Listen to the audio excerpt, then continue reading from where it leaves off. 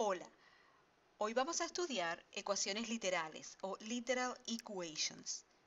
El objetivo será resolver este tipo de ecuaciones, ecuaciones literales o fórmulas para una variable específica. Literal equation, su definición es una ecuación en la cual variables representan valores conocidos.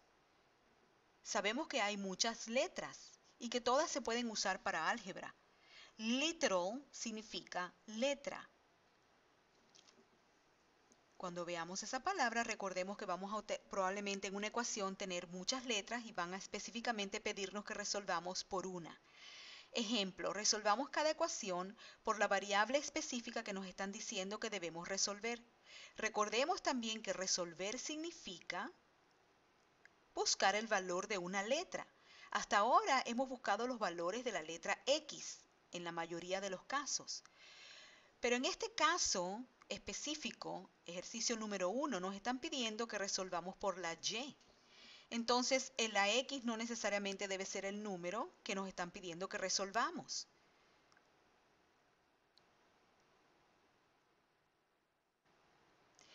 Eh, siempre nos van a pedir en este tipo de ejercicio que dejemos la variable que nos están pidiendo que resolvamos sola. En este caso es la y. Pudiera ser la A, pudiera ser la X, pudiera ser cualquier otro tipo de letra, pero en este caso específico nos están pidiendo que resolvamos por Y.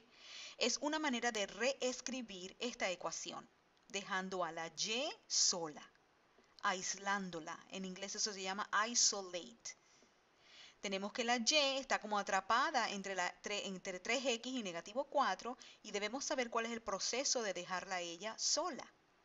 Recordemos que PEMDAS es un proceso que utilizamos para resolver operaciones. En este caso vamos a usar PEMDAS al revés. Vamos primero a sacar todo lo que tenga que ver con negativo, con suma y resta. Vemos que el negativo 4 está multiplicando la y y que el 3x es el que está siendo restado de negativo 4, de negativo 4y. Eso vamos a primero sacar este 3x de aquí, de esta ecuación. Vemos que el 3x es positivo. Vamos a poner su negativo para poder em, balancear esta ecuación. Vamos a poner el negativo 3x en los dos lados de la ecuación. Como x no es, el negativo 3x no es familia del 7, vamos a, alejarlo, vamos a ponerlo a un ladito, no lo vamos a poner abajo, porque podemos confundirnos y pensar que son familia o que son términos like, like terms. Como no son like terms, vamos a ponerlos separadito. Entonces, de un lado de la ecuación cancelamos 3x menos 3x, bajamos negativo 4y, y eso va a ser igual a 7 menos 3x, porque no son like terms. Ahora, ¿qué hacemos para quitar ese negativo 4 de al lado de la y? Bueno, recordemos que cuando está muy pegada esa letra del, del coeficiente, que es negativo 4, eso es multiplicación. Hacemos lo contrario, que es dividiendo todo el coeficiente con su signo y todo de los dos lados. Cancelamos el negativo 4 y nos queda ya y solita. Y en el otro lado nos queda 7 menos 3x sobre negativo 4. Pero hay otras maneras de escribir esto. Podemos escribir negativo 7 cuartos más 3 cuartos de x. Vieron que hicimos un cambio ahí de eh, negativos y, y positivos. Vamos a explicar esto un poquito más. Este negativo 4, ese negativo tú lo puedes mover para arriba o para abajo como tú quieras. En este caso lo movimos hacia arriba, se lo pusimos al negativo 7, pero queda exactamente lo mismo. Negativo 7 sobre 4 es lo mismo que 7 sobre negativo 4. Entonces, cuando multiplicamos o dividimos, mejor dicho, cuando dividimos estos dos negativos, nos queda que negativo entre negativo se convierte en positivo. Es ese más que están viendo ahí. Entonces nos queda negativo 7 cuartos más 3 cuartos de x. Eso es exactamente lo mismo. Pero nosotros queremos siempre poner las letras primero. Vamos a cambiar, ¿verdad? El orden de estos dos términos, vamos poniendo primero el 3 cuartos de x y después ponemos menos 7 cuartos porque ese 7 cuartos es negativo. Y esa sería la respuesta. No olvidemos que siempre es bueno poner las letras primero. vamos a resolver por W. Tenemos que W es el numerador en este caso.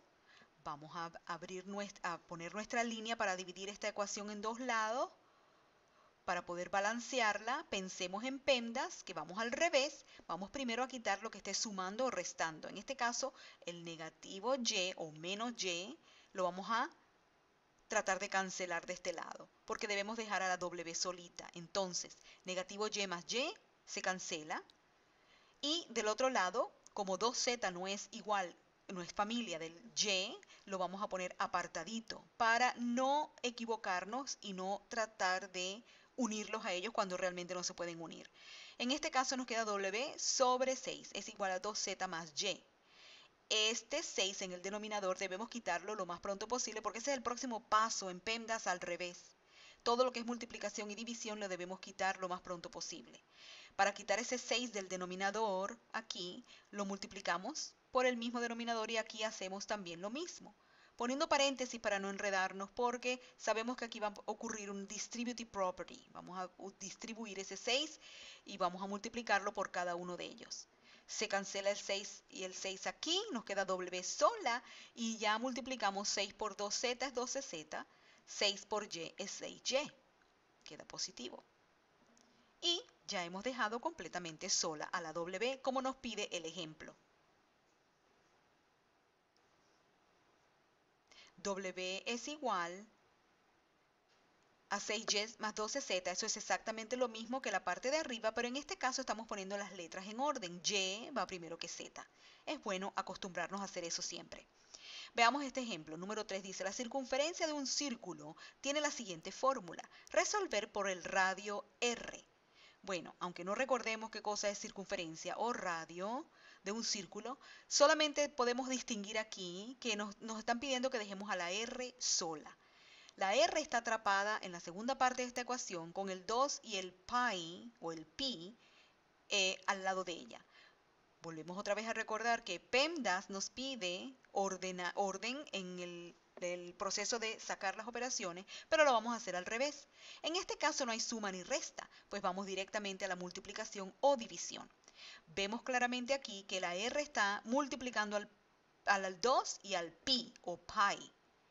Lo que debemos hacer es simplemente salir de ellos dos. ¿Cómo salimos de ellos dos? Bueno, dividiendo por ellos mismos. Y hacemos lo mismo del otro lado. Podemos cancelar estos dos y ya nos queda la R sola de este lado. Y del otro lado nos queda que se divide a 2 por pi o pi. pi en español, pi en inglés. Nos queda que r es igual a c sobre 2 pi y lo podemos cambiar y decir que podemos poner a r primero. Eso es igual a c sobre 2 pi. pi. Sigamos con el próximo ejemplo.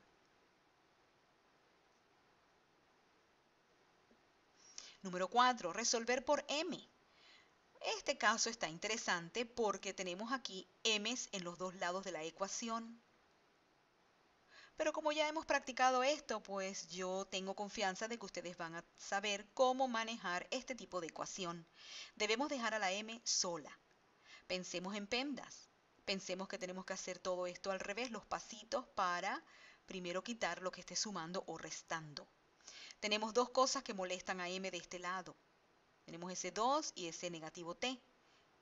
Bueno, lo primero que debemos hacer es pasar a las m, las dos, eh, mejor dicho, pasar a una de las m hacia el otro lado. Vamos a sacar a esta m que está de este lado, del lado derecho de la ecuación, porque es menor que 2m del otro lado, para que nos quede la m positiva. Entonces ponemos negativo un m en las dos, cancelamos y nos queda m menos t es igual a positivo 5. Ahora, ¿qué cosa está molestando a m de este lado de la ecuación? El negativo t. Seguimos, para sacar al negativo t vamos a poner su opuesto. Vamos a hacer aquí el addition property of equality. más t y del otro lado igual más t, por supuesto que no abajo para no equivocarnos y no tratar de unirlos cuando ellos realmente no son familia. Y tenemos entonces que m es igual a 5 más t.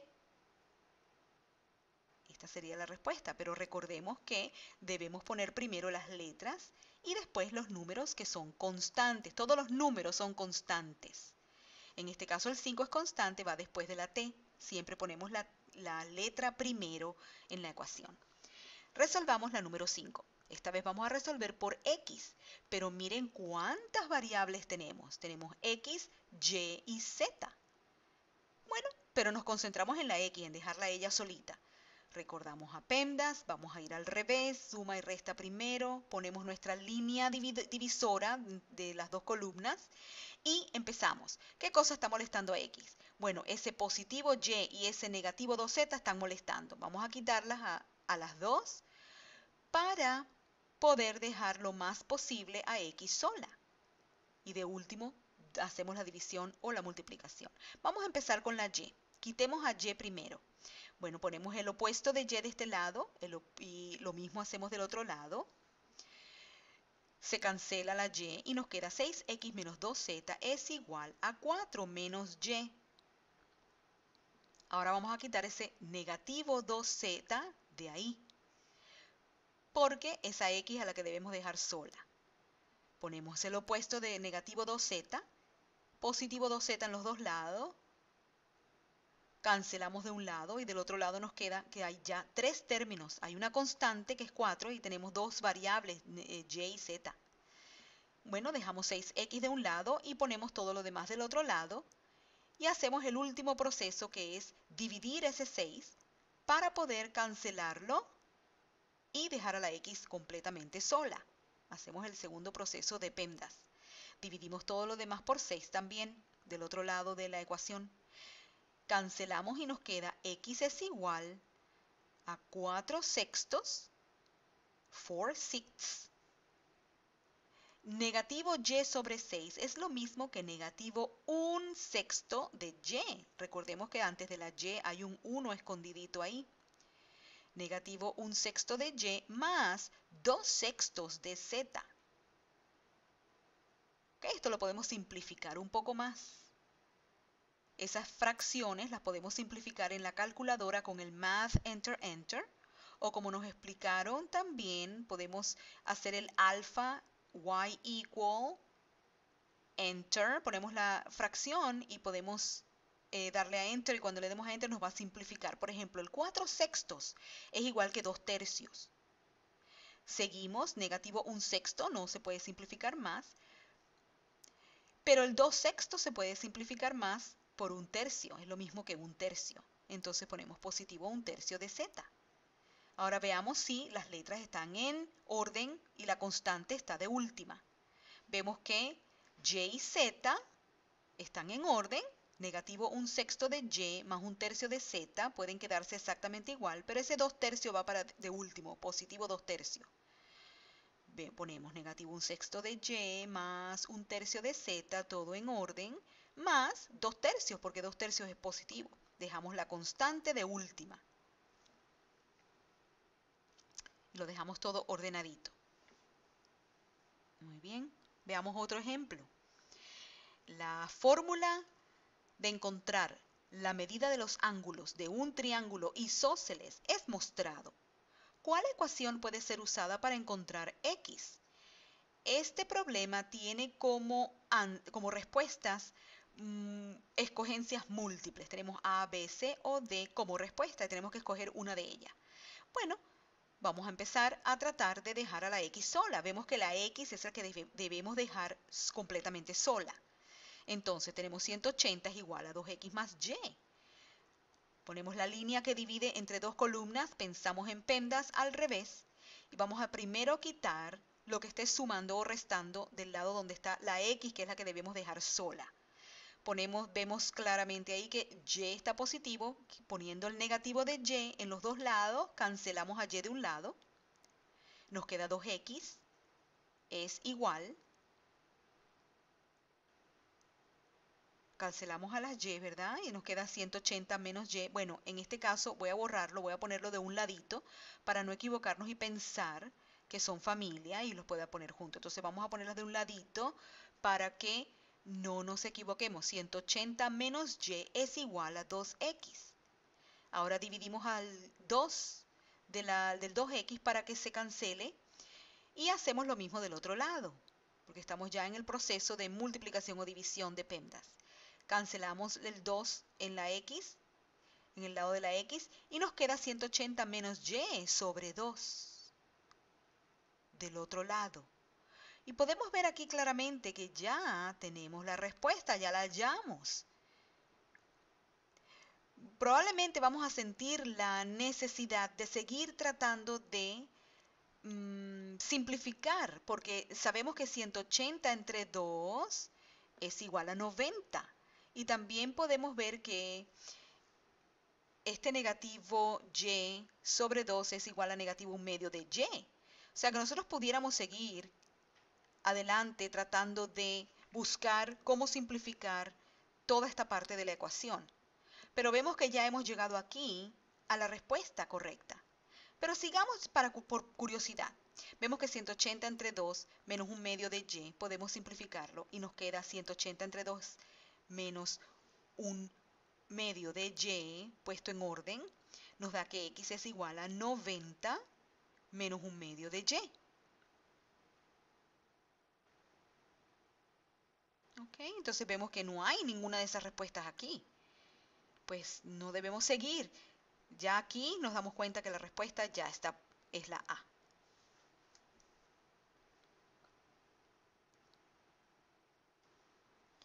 No importa que la x esté del otro lado, sabemos que esto es exactamente igual que tener a la x del lado izquierdo y toda esta parte del lado derecho. Entonces, cuando nosotros lleguemos a la respuesta correcta, ya no tenemos que seguir perdiendo tiempo. Ya sabemos que podemos, ya la hemos identificado y la ponemos como respuesta y ya.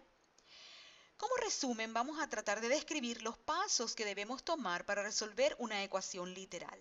Esperemos que hayas disfrutado esta lección en español. Bye bye, nos vemos en clase.